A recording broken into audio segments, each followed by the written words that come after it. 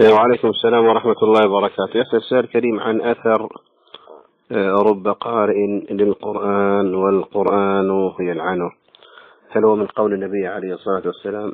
آه، حقيقة هذا ليس من قول النبي عليه الصلاة والسلام.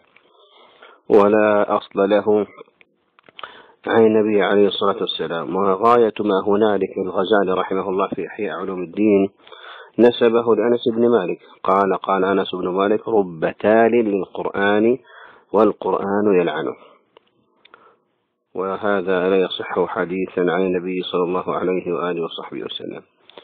وسئل سماحة الشيخ بن باز رحمه الله عن هذا كيف يلعن القرآن قارئه ولماذا؟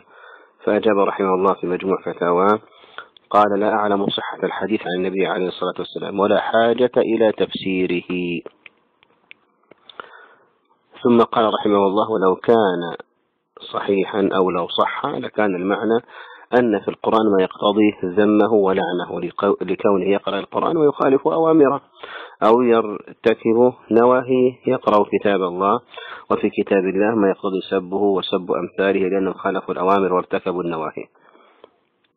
وأيضا جاء عن الحسن قوله يمر على قول ربنا عز وجل آلا لعنة الله على الظالمين وهو من أظلم وهو من أظلم الناس.